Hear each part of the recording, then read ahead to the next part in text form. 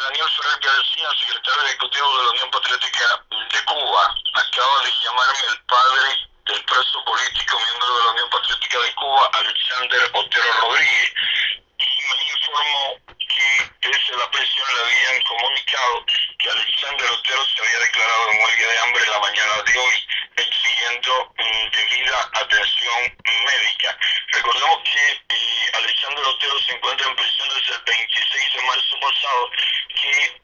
ya hace unos meses sufrió una caída y los médicos del penal recomendaron una operación quirúrgica en un hombro y no le han dado la debida atención médica y ahora terminó con una parálisis en una parte de su cuerpo, una parálisis parcial y esto lo tiene que ni siquiera se entiende lo que habla. Otros presos tienen que comunicarse con la familia y darle las noticias que él pide que eh, le den, porque no puede ni hablar de manera en que se le entienda. Ahora, como no recibe la debida atención médica y se declara en huelga de hambre exigiendo que lo lleven al hospital y lo atiendan debidamente. Y como ya también hemos informado, se encuentra en el Kenia Ramón Arzuaga, que se vio bastante grave recientemente al contraer cólera en una prisión donde más de 150 reos han adquirido cólera y según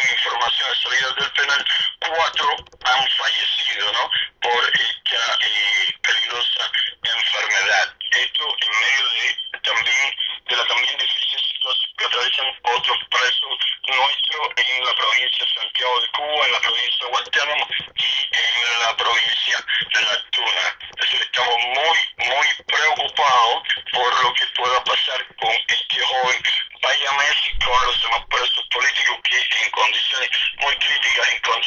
infrahumanas, eh, sin la debida atención médica, sin la debida alimentación, en total hacinamiento y con el acoso constante, el hostigamiento constante por parte de la policía política que pretende rendirlo para que eh, dejen su activismo a favor de la democratización